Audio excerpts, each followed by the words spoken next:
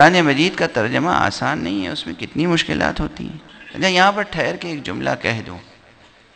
अगरचे वक्त तेज़ी से गुज़र रहा है, और जितनी तेज़ी से वक्त गुज़र रहा है, उतनी तेज़ी से मैं पढ़ नहीं पा रहा हूँ। लेकिन बहरहाल, कुरान मजीद के कितने तर्जमे हो चुके अब तक? उर्दू में, फ़ारसी में, अंग्रेज़ी में, सिंधी में, पंजाबी में दुनिया की हर ज़बान में, बोस्निया की ज़बान में और चेचनिया की ज़बान में और जनाब वाला हबश, हब्श की ज़बान में, तंजानिया की ज़बान में यानी कि स्वाहिली लैंग्वेज में जितनी ज़बानें हैं, सब में तर्जमे हो चुके और हर साल एक, दो, दस, बीस तर्जमे और आ रहे हैं। कभी गौर किया कि ये तर्जमे क्यों चले आ रहे हैं? गौर फरमाया कभी। एक तर्जमा हो गया अच्छा मामूली लोगों ने नहीं किया है। बड़े से बड़े आलिम ने, जो अरबी ना भी हैं, फ़कीह भी हैं, फ़लसफ़ी भी हैं, ऐसे लोगों ने तर्जमा किया है। मसलन मैं मिसाल दूँ कि जनाब अल्लाम तबा तबाई साहिब तफसीर अलमीज़ान मुजतहिद जाम शरात फ़कीह, उसूली, रजाली मुहदस मुतकलम फ़लसफ़ी और मामूली फ़लसफ़ी नहीं, गैर मामूली फ़लसफ़ी। ऐसे फ़लसफ़ी जिन्होंने फ़लसफ़े का कदम आगे बढ़ा दिया है। ये मैं अक्सर कहा करता हूँ कि इल्म अदब की दुनिया में कोई एक नया हर्फ, एक डेढ़ नया हर्फ कहना आसान नहीं है। लोग चबाए हुए निवाले चबाते रहते हैं।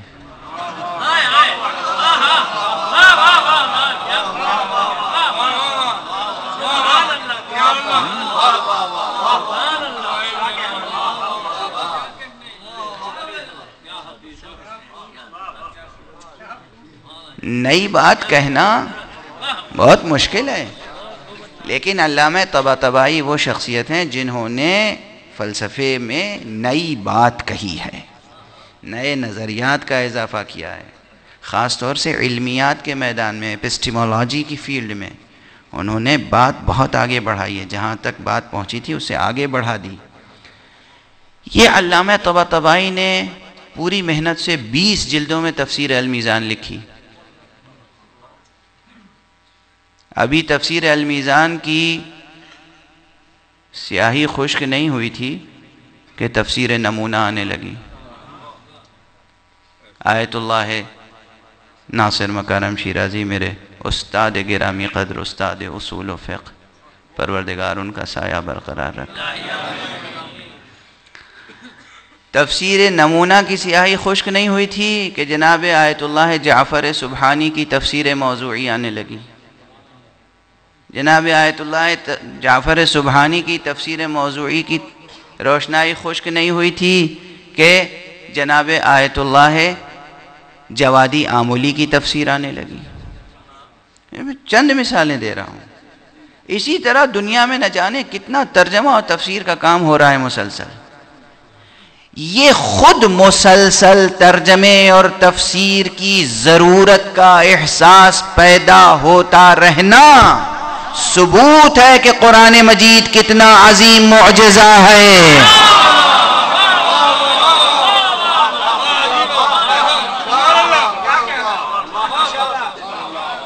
ये ज़िंदा खालिक का, ज़िंदा कलाम है जो कभी फरसूदा नहीं होगा। यानी जरा सा भी किसी को अरबी जबान का जौक पैदा हो जाए। ज़रा सा ज़ौक पैदा हो जाए अरबी ज़बान का। बुनियादी तौर पर अरबी ज़बान से वाकिफ़ हो और फिर उसका ज़रा सा ज़ौक पैदा हो जाए। तो वो जितने तर्जमे देखेगा, जितने भी तर्जमे देखेगा, वो फिर कुरान देखेगा तो महसूस करेगा कि नहीं, अभी तो कुरान के तर्जमे का हक अदा नहीं हुआ। यह है कुरान का एजाज़। यह है कुरान मजीद की मुसलसल ताबकारी। मुसलसल रेडिएशन। यह है कुरान। मुश्किलात क्या क्या हैं?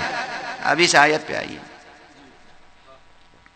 इन्ना नहनो नहयल मौता व नकतुब मा कद्दमू व आथारहुम व कुल्ल शैइन अहसैना हो फ़ी इमाम मुबीन।